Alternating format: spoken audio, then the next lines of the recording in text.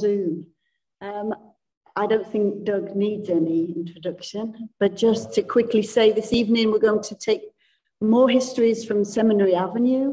Um, Doug, the whiz techno, the writer, the now re relentless historian, is going to tell us about seminary, but he's also going to invite us to and encourage us to look into our own history, show us ways that we might actually become involved in the history of HOPO. Um, we're on a really tight turnaround, unfortunately. So, just one housekeeping point if we could leave questions to the end, that would be really great. So, thank you again for coming. And, Doug, when you're ready. Thank you.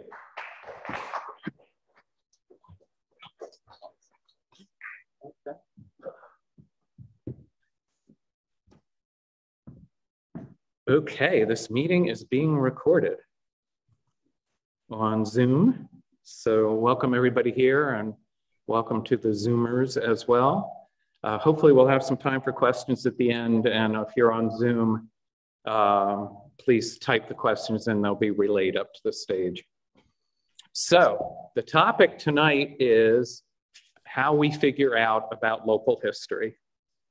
How can we dive in and understand about local history? And the test subject is Seminary Avenue, because if you know Seminary and Hopewell, it's rather undistinguished. There's nothing about that street or those buildings that look historic. And it turns out there's something there after all. So that's what we're going to look at tonight. Um, the vehicle I'm using to look at Seminary Avenue is the Hopewell Valley History Project. Yeah, that was good. Um, so the History Project, if you don't know about it, is a totally volunteer effort to grab as much local history as we can, historic materials, get them digitized, get them online, and freely share them.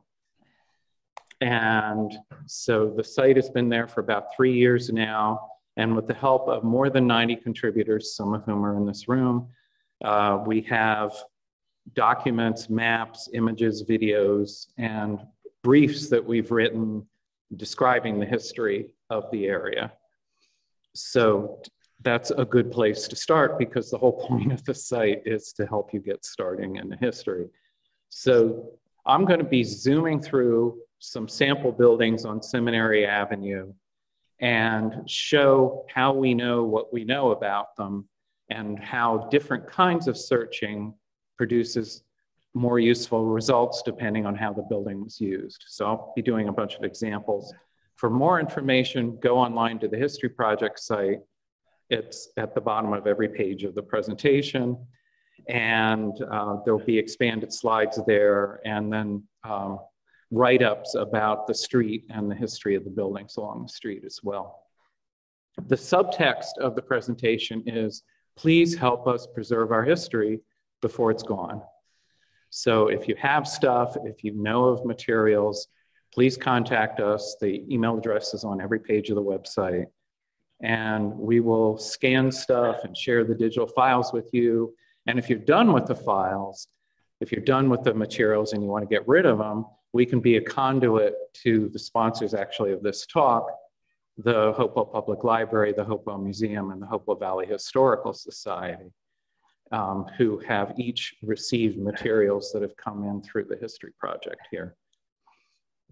And uh, we're also interested in oral history as well, as you'll, you'll hear some examples of that. So let's begin. So how do you begin? How do you start thinking about the history of a street or a town or a building or a property or whatever? And the answer is, next slide, please, the maps. So this is an example of a fire map of Hopewell from 1912 done by the Sanborn Map Company. And uh, these map companies came to your town and surveyed and mapped out every structure in your town so that fire companies, insurance companies could write insurance on the structures. So there's tremendously useful to us. And what you see here in 1912 is seminary is pretty much filled out by this time. And I've highlighted the buildings that I'm going to be talking about tonight. So left to right down the middle, which is Seminary Avenue. Number six is a, labeled as a barber shop. And what's interesting about that is that building not only no longer exists, but you can't even see that there's a property there. All there is now is a driveway going back. So we'll talk about that building.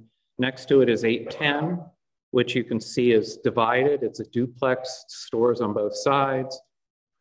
And then further down, number 16 is a bakery, and there is no building on the street, but there's a setback building, which is a bakery. So we'll talk about the history of that. And then along the bottom and the, on the left across the street, number 19 is a residence, which is also currently a barber. Number 17 is a grocery store. Number 15 is labeled 2B Fire Station. This was actually the first home of the Hopewell Fire Department, though you couldn't tell it by looking at it today. And number 1113 is the livery for the hotel to in the bottom left corner, which we now call the Hopewell Inn. So that's where they parked the horses for people who came to the inn, okay? So let's look at those buildings and talk about how we know what we know about those buildings. Next slide. So this is number six Seminary Avenue. That's that barber shop. If you look along the bottom, we're starting with the maps. So the History Project has all these maps available. In the bottom left is the 1902 map, and there's a gap there. There's an empty space where that building eventually would be. The 1912 map, which we saw earlier, shows that there's a barber shop there. And then the 1927 map in the bottom right shows the barber shop has been expanded and is meeting up with the building next door, which has been expanded. So at all of it, at this point, all we have is some dates and a barber shop, but we don't know anything about it. So the next step would be to go to the history project and look at photos because on the History Project, we have thousands of photos and they're organized by town and street address in the town as we figure out what the heck the photo is showing. And you will find this photo in the top right here. This is Harry Cox's shaving parlor. This shack, this barber shack, is the building that shows in the map with an addition behind it. So now we have a name and we have a date and we have a business, so that's good to know. And also on the History Project are a whole bunch of documents that we've digitized and brought online and transcribed. And in those, uh, there is actually several documents, promotional documents about Hopewell and what a great town it is and all the great businesses here and all the rest of that. And one of them, the 1914 Hopewell Herald Progress Edition, mentions Harry Cox. So there's a write-up about him there, a brief summary about this great young man who started a barbershop here. So now we have a name, a business, and some dates. So how do we find out more? So next slide.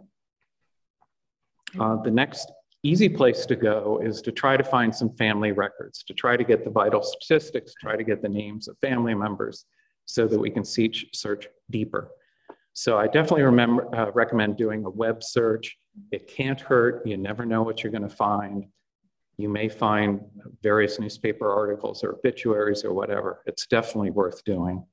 And then another great site is Find a Grave, findagrave.com. And it has, uh, it's another volunteer site.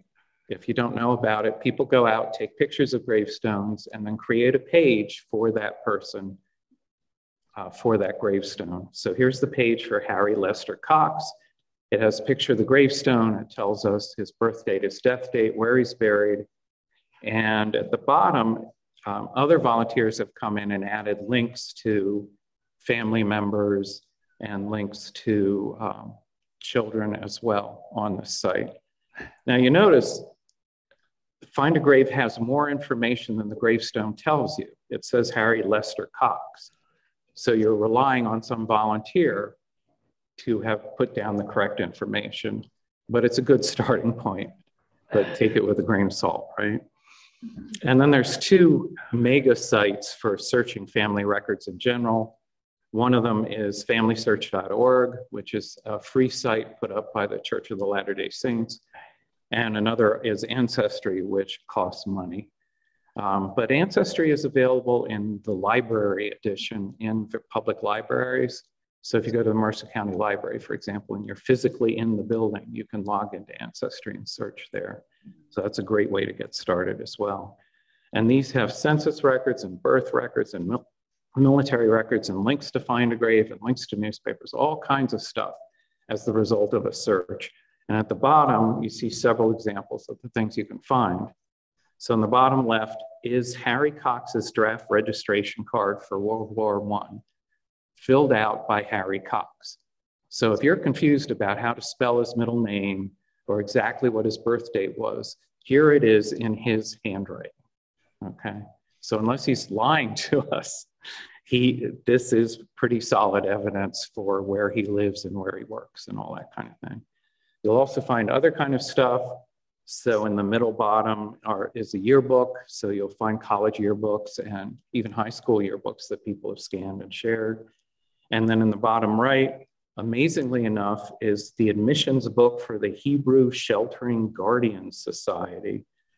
And we and somebody not only scanned all this, but they typed in the names for us. So if you do a search, you will find the entry for Mortimer Zwoff at age 10 when he was sent off basically to an orphan's home because his mother died. So all of this kind of stuff is available. And once you've done this sort of first level of searching, you have a pretty good handle on names and dates and birth dates and locations and things like that. And then you can search further. So next slide.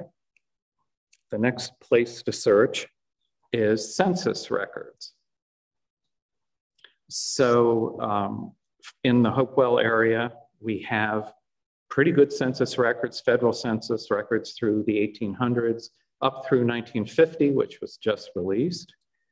Um, unfortunately, they don't have full street addresses till 1920, which would have been helpful.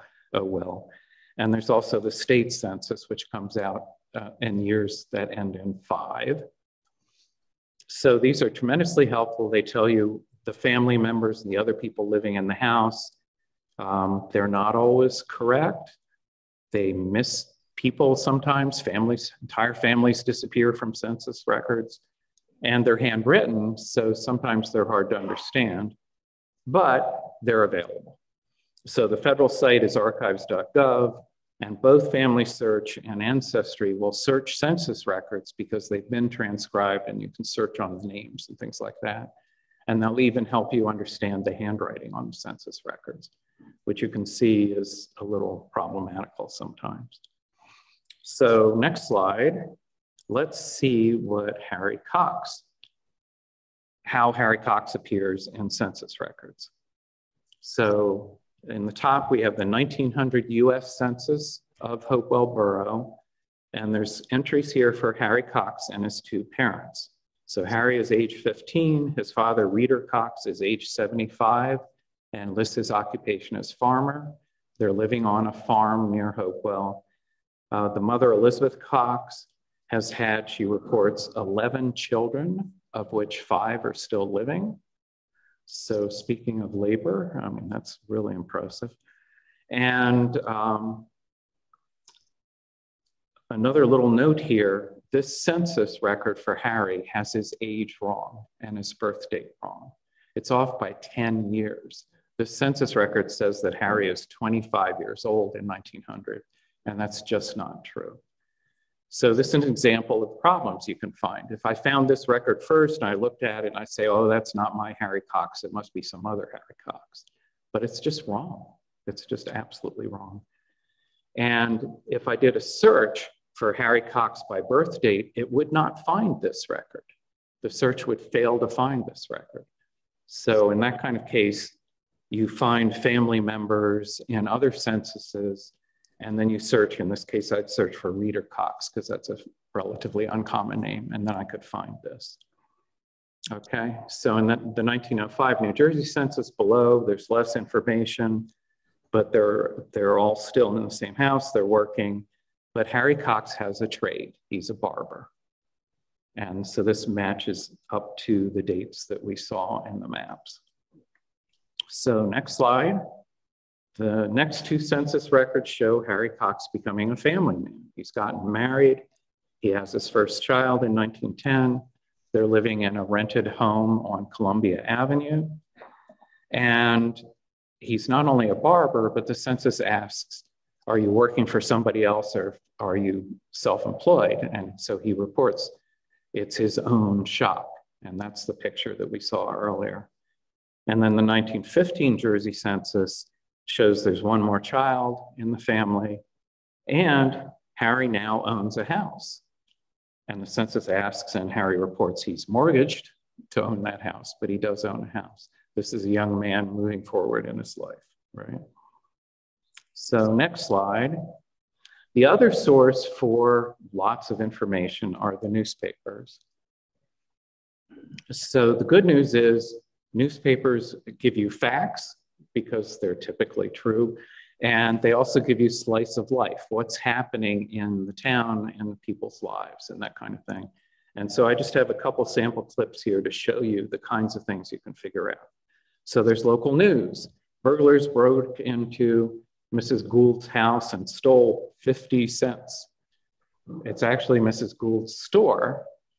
And you, this wouldn't mean anything to you until you learned that Mrs. Gould was one of the early owners of the building that we now call Chubby's Restaurant. So now, now there's the connection. The next one is business news. Robert McIntosh was sick, but he's back to his upholstery business. And it gives us an address. He's located at a new address. So now we know he's in town, he's moved to a new address. It doesn't tell us the old address, which would have been nice. Um, but this is the kind of way we piece together information about these people and McIntosh ends up on Seminary Avenue. So this is part of his story. Then there's social news, birth, weddings, obituaries, that kind of stuff. And then just little clips like you see here. So um, a family in Glenmoore moved to the Stryker house on Center Street. So that's thin gruel, but if you're trying to track that family in Hopewell, you now know they were in Hopewell on the state, which is not a census year. So you know something more as a result of that. And you learn family connections and friendships and that kind of thing through these reports. Then in the, the bottom picture, sometimes these articles have pictures in them and you just get lucky. So in this case, this is George Krantz, who you will meet later. And he was a local barber and he joined the Navy. And here's, here he is, decked out, ready for the Navy. And we get a picture, so we're lucky. And then in the bottom right is a fascinating example. These are executor auctions of personal property and buildings. It's very common to sell all the personal property of people, even if they have family, amazingly enough. So this is Jenny Cruiser, who was on Seminary Avenue, and you can see what kind of equipment she had, what kind of appliance she had. She had an electric sweeper, uh, the size of her rugs, the things she regarded as the antiques in the house, that kind of thing. Just fascinating. And you see the same thing for businesses when they go out of business. So, where do you find out? Where do you find these newspapers? And which newspapers should you be interested in? Well, the number one local paper in Hopewell, of course, is the Hopewell Herald. And the Hopewell Herald was printed through 1955 and it does cover more than just Hopewell Borough. It covers the Hopewell area nicely. And it's available on two sites, newspapers.com and newspaperarchive.com. Um, the first has much better, much more friendly searching. Uh, the second, unfortunately, has some things that the first site misses. So you, you really need to do both if you're doing deep, deep searching. And then the Trenton papers, and particularly the Trenton Evening Times, has quite a bit of local and regional news. And they tend to have business news because people are registering businesses in Trenton, and they tend to have more pictures as well. So they're a really useful source. So the George Krantz picture, for example, is the Trenton Times. And that's available on, on genealogybank.com and then the other two sites I mentioned earlier, Family Search and Ancestry, also have links into these newspaper sites and will return newspaper results. But newspapers cost money. And roughly, these are about $20 a month to subscribe to these sites. Uh, the price gets lower if you uh, subscribe for a period of time. You can also bundle, you can also add features.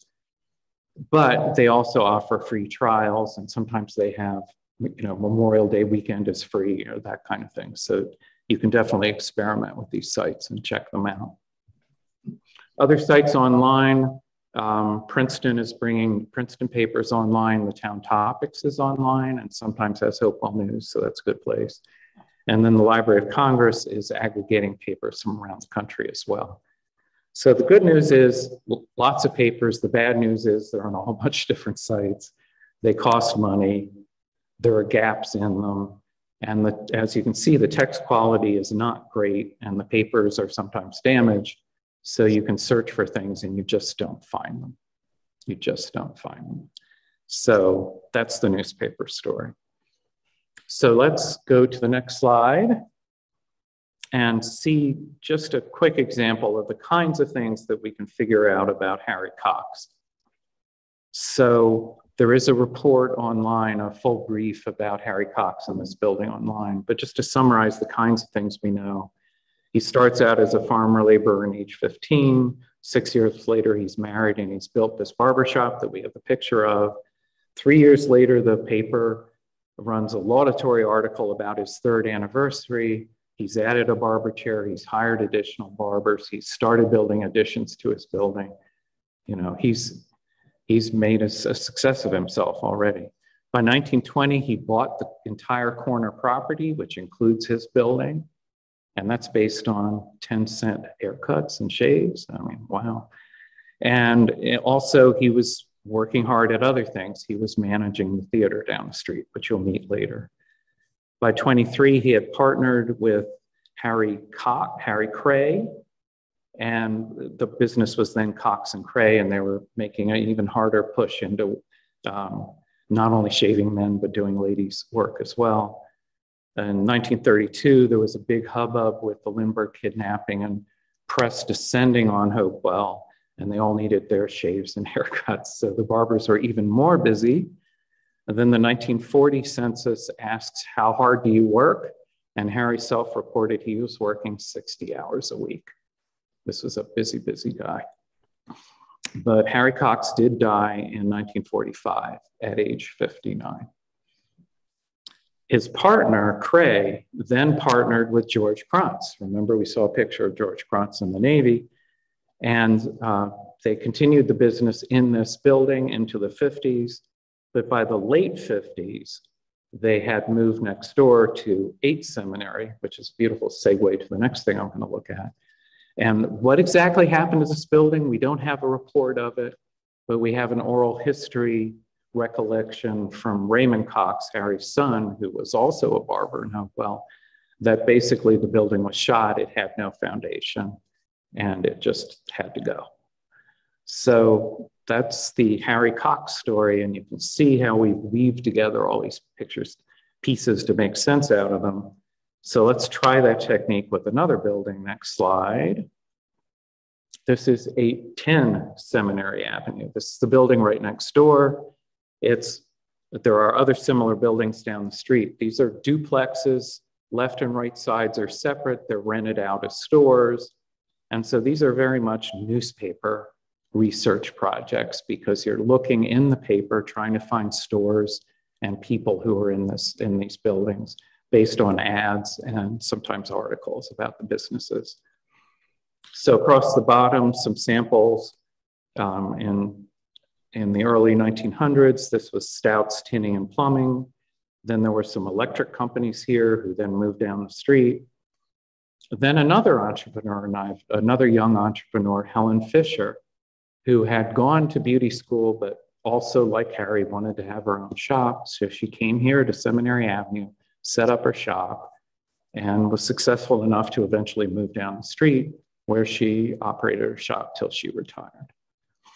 So another another story like that. It's just fascinating. And then there were other businesses here, shoe stores, Packman Jewelers, and others. The two pictures, however, show you that the current building is not the original building. The original building is the second photo here, the decrepit looking one taken in 2006. So this building was basically worn out by 2006 and was torn down and replaced by the building in the top right. And that building was deliberately designed to echo the original facade, but of course it has a second story behind it. So that's a, that's a duplex rental um, retail story for that kind of building. Then there are other buildings which have a sole owner who's often living there and also running a store there. And so for that, we need to do some other kind of research, and that's the next slide. Thank you, which are deeds. So the good news is there are deeds online. But the bad news is there's a substantial gap in our Hopewell deeds. Oh well. But the deeds do tell us who the buyer and the seller, sometimes they tell us prices, they describe the property. But then the most important thing is at the end of the deed, after it describes the property, it also says this is the same property that was recorded in an earlier deed book where Jones sold to, to Smith or whatever on this date, and it's on this page in this previous deed book. So this way you can chain back through the deeds and follow the progression. And most of the time that information is there, which obviously is tremendously helpful. So the Mercer County Clerk's Office has digitized their deeds starting around 1950, and they're available online. You can search by name and date and location, and you can, you can pull up a scan of the original deed. So that's tremendously helpful. But then there's a gap till 1900 where we don't have deeds. So what you can do is chain back from current day to somewhere before 1950, and then you get one more leap into the gap with the reference to the previous deed, and then you're stuck till you get you have to pick up the chain somewhere before 1900 again. Those earlier deeds are on familysearch.org. They came to Mercer County and digitized the entire friggin' deed books, just thousands and thousands of pages. It's just amazing. And you see them in the top right here. They aren't nicely typewritten like the Mercer deeds. Um, they're handwritten. And so you have to go through the somewhat laborious process of looking up a name in the index and then figuring out which deed you want to look up and then find the right deed book and then look to page 1650 and find that deed and you end up with this image in the top right. It's handwritten but it's got the same information, the names, and the link back to the previous deed. So it's tremendously helpful. So here's an example of a building where we use deeds. Now, this is a somewhat nutty story and a multi-phase story. So let me step through it. So the map's in the bottom right. In 1902, what you see is a small bake house in the middle of the property, set back from the street. In the second map, 1912, you see that's been expanded into a two story house and bake house connected to the back, but it's still not up on the street. In the third map, 1927, there now is a building on the street, and that building is shown in blue here. And that's the theater. And that matches the building that you see in the upper right, which is what you see when you walk down the street. You don't notice all this other stuff behind it. You just notice this front building. So the original story, the Bake Shop story, is really a deed story and a uh, business news story. So you learn about Webster Van Dyke and the people who bought his business. Eventually, Cornelius Allen bought that business and then sold it to somebody else and then moved down the street but then in 1914, Cornelius Allen got the theater bug and decided he wanted to have a theater. So he was the one who built the building that we see from the street now, and that was the Hope Theater, which operated from the mid 1910s into the 1920s as the movie theater of Hopewell. And here's an ad for the Hope Theater admission 10 cents, come have a good laugh, right? And so that theater operated till uh, 1922. Uh, it was sold and resold. Harry Cox was running the business, but then there was a fire in 1922. The building was um, restored, renovated, but unfortunately, that was the end of the use of the building as a theater. So we've made it all the way to 1922, and there's all that stuff in the background. So we turn the page, next slide. And here's the rest of the story. which is back to being really a newspaper story. So we look in the newspaper, we find articles and ads, and we figure out who was in there. The electric shop moved from down the street, there was a meat market, et cetera. And then the deeds tell us from 1940s to the 1970s, this was owned by two families, the Lessers and the Smiths, who lived in the building and ran what they called family stores, basically department stores where they sold shoes and clothing and other kinds of goods. And um, I, have talked to the families, the children of these people, and they and they say, yeah, Hopewell did need a department store. There were lots of kids who used lots of sneakers and wore out their sneakers. There were farmers who needed their boots, and people needed tough clothing, you know, for tough times. So so that building, this building was successful as a department store basically for decades. So moving on, next slide. So we're now going across the street to 19 Seminary Avenue. And this basically is a deed story because it had so few owners and they were residential owners, but it's also an oral history story. So from 1919 to 1972, this was the home of the Holcombs. There were two generations of Holcombs who lived here, purely residential business, uh, home. And then in 1972, Bob Witowski bought the building and opened his Mr. Haircut business. And he's still there today. And Bob is a direct link back to Harry Cox, where we started the whole story. And so Bob joined the Navy, became a barber, joined the Krantz and Cray business. That's why I went into all that detail earlier. Worked with George Krantz, the Navy guy, and Bob was Navy too. And he tells the stories because he heard the stories sitting around the barber's chair, the good old days, what it was like cutting hair, what it was like when all the reporters came to town for Lindbergh, et cetera, et cetera. So we have that information because Bob's still around to tell us, which is just really cool. So moving down the street, we're going left to right down the other side of Seminary now towards Broad Street. The next building is this building. So this is not a whole bunch of businesses in a building so much as it is a building that had a single use as a grocery store from 1922 to 1978. It just went through a bunch of different owners, some of whom owned the store and ran the business, and some of whom owned the building and lived there as well. So this was Ashton's and Edlings and Shanks and Scabettos and Vaccarinos and ended up finally with the Ehrlichs. So it's been used for various other things since, but this was a major grocery store in Hopewell for a long, long time.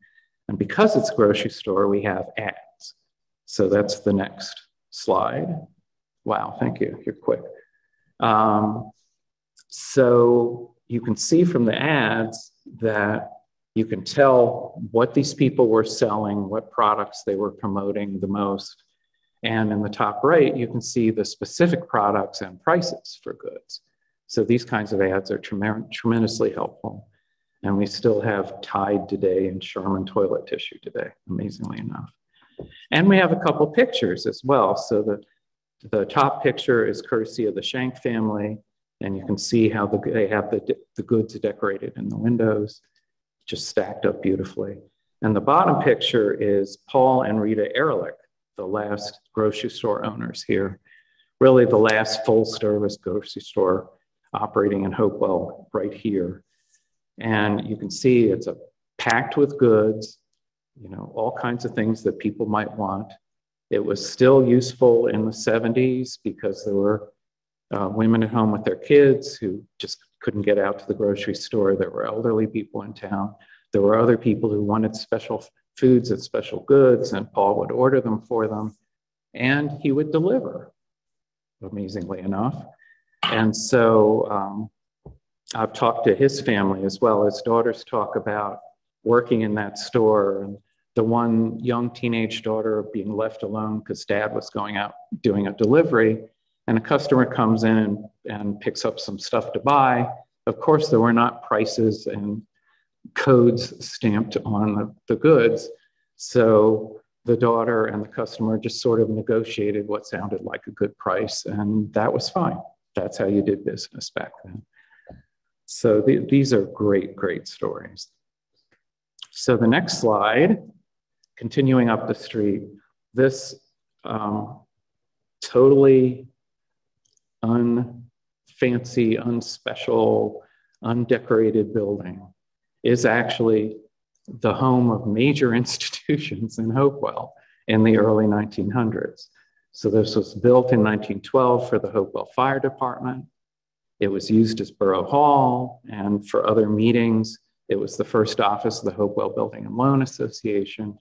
And then in 1915, the Hopewell Free Public Library, the predecessor of the current library, moved in there and was on the second floor. So this is an institution story and so we can cheat here because the, these institutions wrote histories and we have histories of these institutions and there's briefs on the website about them as well. And there's pictures as well, so that's helpful. So next slide. In the bottom right, we have a photo of this building, the front of this building from 1915 when the, Trent, when the Hopewell Public Library moved in. So they were on the second floor, and that door in the bottom left of the picture uh, went up to the second floor, and that's how you went to the library. And you can compare it to the current day building above, and you can see the facade in the bottom right of the building has changed, but it's the same building. Then we have the picture on the left, which is courtesy of the Hopewell Fire Department. And this is the same building, so it's a little confusing to begin with, but the the trick here is to understand you're looking at the side of the building. This is the side that faces Broad Street, the side that's on the same side as the livery. And so back then, fire engines were fire wagons, horse drawn. And so the horses could be in the livery, and then the fire wagon could be parked in this building. That's why you don't need a big fancy building. You're not running big pumper trucks around, right? And so we have the story of this building, but by 1921, the fire department moved out. By 1925, the museum moved out, and the building no longer has any evidence of its previous uses. And it's been used as a residence and multiple stores ever since. Okay. So, next slide. This is the last building we're going to talk about on Seminary Avenue. This is the livery building. So if you look in the maps at the bottom, in the bottom left in 1902, this is shown as a setback building. So this is not the building, the current building that you see in the top right picture. This is a different building which was set back from the street because it was full of horses and horses smelled, right? And this shows as A. Cray's livery because Andrew Cray owned the Central Hotel next door, what we call the Hopewell Inn. Then the middle map, 1912, we still see it as a livery. And then the bottom map, 1927, it shows as an auto repair shop. Now, if we go to the papers, we can find some clippings that talk about this building. So there's two of them here. So in 1917, the, uh, one of the local funeral directors, Mr. Forsyth, uh, moved into this building and had his vehicles and his furniture business. I don't quite understand that in that building, but because the livery business was phasing out. And then in 1927, the uh, other ad here is George Clark reporting that he has moved his business, his car repair business, into this building. So that maps, that matches the map in the bottom right corner. And we have a picture of Clark's garage. So that building actually says Clark's Garage on it. And that is the livery building that used to be there that was set back. And it matches the map, which shows a two story building with one story additions on the two sides. And so with this ad, we know exactly when Clark moved in, and we, that will help us date the picture as well. This picture we did not have a month ago. This is the kind of thing that turns up because people kindly find stuff. So thanks to them. So the open question now is what happened to that livery and what caused the new building to be built? So that's a good question. Next slide. Thank you. Um, and the answer is if you go into the deeds, you can see it being bought in 1946, you can see it being bought in 1959 and being turned into the auto parts business that current residents remember. And then sometime in 1960, that livery disappeared and this current building appeared. So when did that happen? I can't find any newspaper articles about it. Maybe the fire department has a record. We haven't been able to check that. Um, but we do have oral history. So I've talked to two families. One was a young family who was living next door and remembers a fire. And they remember the age of their children when the fire occurred. And so they can date when that fire was. So that's great. And then the other are actually children of one of the grocery store owners up the street. And they were actually a member of the Hopewell Fire Department. And they were standing there with a hose putting out that fire. So we're really, really sure the livery burned down. Okay, we have pretty convincing stories about that livery building down. However, they each, from their memory, compute when that happened and they differ. Their dates are off by two or three years. So that's going to be a little vague still. Hopefully, we'll eventually figure that out. So, when that burnt down, the current building that you see today was built and then has been since renovated as well. So that's the end of the some examples moving down the street, showing how you can explore different buildings, and then depending on how it's used, you can use different information to chase up the story and fill in the story. So I have one more example of it for you. Next slide, which is Plump's store. So the this is an example of what happens when you can't stop yourself doing this kind of research. You find this little thread and you pull on that thread, and then things happen, and then you can't stop yourself. It's getting late at night, but what the heck?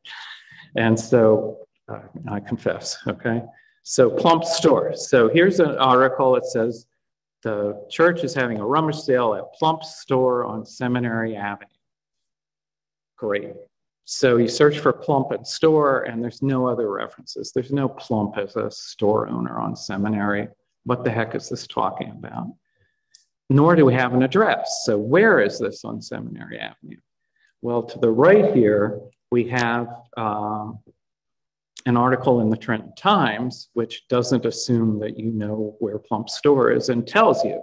So we get an address. This is Plump Store was at 10 Seminary Avenue which was that original duplex that we saw with side by side stores. And so, where do we go next? Well, Plump is a rather uncommon name, particularly in Hopewell. So, going and chasing the census is a good approach.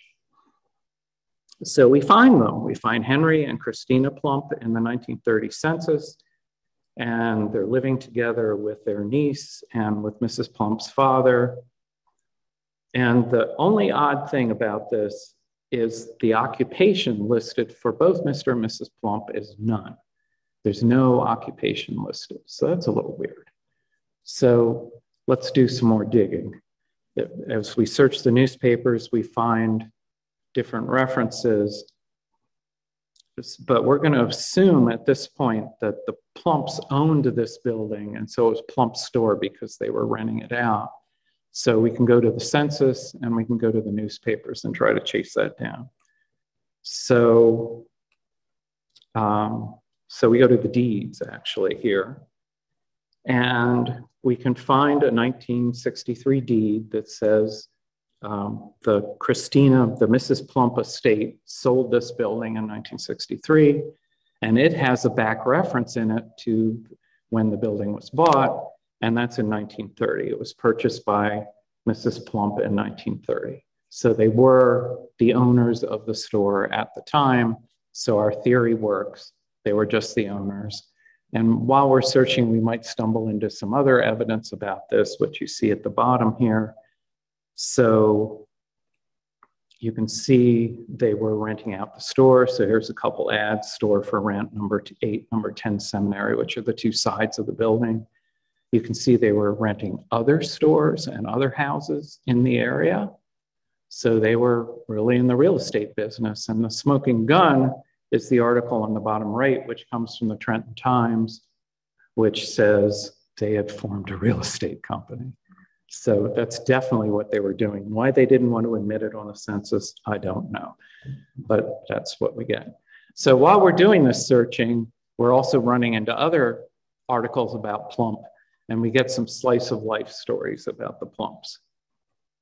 So Mrs. Plump, next slide, fell from horse and was injured, injured her her neck and injured her, her ankle, but she's fine now. And then Mr. Plump fe- also fell, but from the barn on their property, and he injured his leg and he injured his head, but he's fine now. And then, even worse, you know, things keep happening to this family. Mrs. Plump was literally struck by lightning. Oh my gosh. And was couldn't speak for a day but she's fine now. Okay. So this is the kind of thing you find. You follow that thread, you can't stop yourself. It's getting late at night, but it's such a great story. And you keep going. But we're not done. Believe it or not, we're not done. Because uh, the Plump family was struck by metaphorical lightning as well.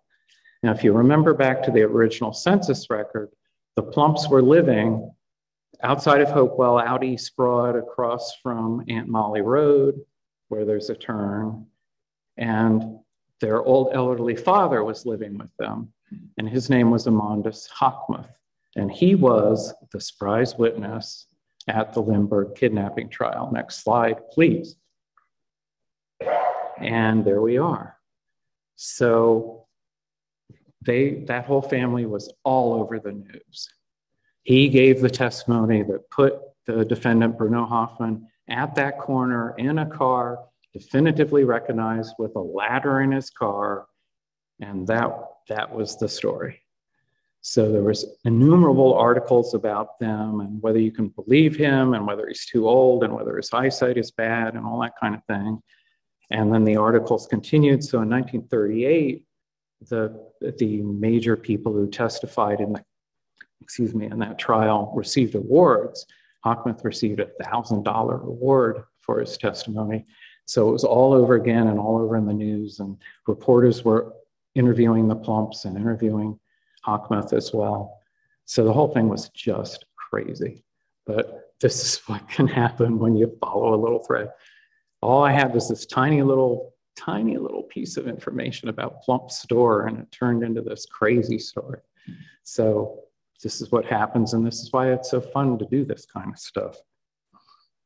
So to conclude, and then we'll have time for questions and Zoom people if they've been typing in questions. So we can uh, we can pass up questions from the Zoom as well. So to research local history online, you can start with just an evening with free resources and chase stuff down and get if you're lucky, a whole bunch of information, at least a starting point of information. So on the History Project site, there's the maps, there's a whole bunch of documents that have write-ups about people and places in town. There's all this photos and imagery and videos as well. Um, there's, um, and then you can search family and property records. So family records on various sites, census records, and deeds as well. So, depending on what kind of building you're looking at, you can chase those different paths as well. And then as you build up more information, you can do better searching because you know the names of the family members and you know the name of the street and you know the street address, that kind of thing. Newspapers, uh, as you can see, are tremendously useful and expensive, unfortunately. So you can get them bundled with Ancestry or Family Search, or you can get one and get a start with them. And then there's the big sites, Ancestry and Family Search, which let you do a whole deep search and find all different kinds of records associated with a particular person born at a particular time in a particular place. And there'll be loose ends and there'll be, you know, false information and there'll be matches to the wrong thing. but as you build up the evidence, that will grow. And these sites also have family trees. So uh, people who are interested in ancestry will build family trees of their family ancestries and post them. So you can then follow somebody else's research and see the sources that they used to establish the important dates and then start making sense of things that way as well. So that's the story. Um, please help. If you have materials, if you know of people who have materials, we're desperately interested in preserving that stuff. So we'll come, we'll scan them, we'll share the digital files with you. And if you're done with them, we will then pass them on, help pass them on to the appropriate place. So that's it. Thank you very much. Appreciate it.